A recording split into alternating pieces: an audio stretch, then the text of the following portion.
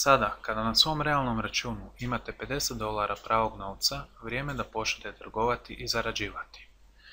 Prije toga bi vam htjeli dati nekoliko važnih smjernica. Zaberite jedan od sljedećih derivata za trgovinu.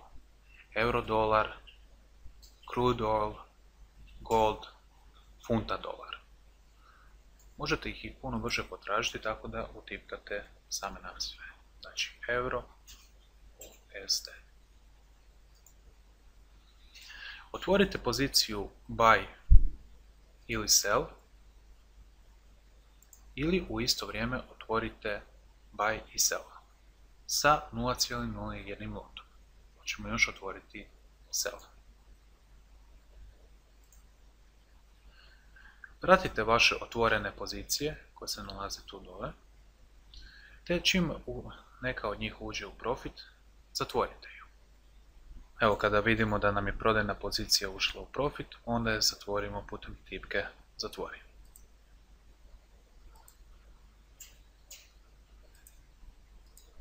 Ukoliko niste u mogućnosti biti pored računova cijelo vrijeme, obavezno koristite take profit i stop loss automatske naloge ili zaustavi gubitak i uzmi profit. Ih aktiviramo tako da kliknemo u ovo polje ispod, na primjer, uzmi profit. Stavimo kvačicu, te pošto je ovdje u pitanju kupovina, normalno da nam je zarada iznad razine na kojoj smo ušli u poziciju. Tako da možemo ovdje izaći iz ove pozicije, to jest pomoću automatskog naloga za 30 centi zarade. Također možemo si ograničiti gubitak. Znači gubitak bi bio ispod ove cijene po kojoj smo mi ušli u poziciju.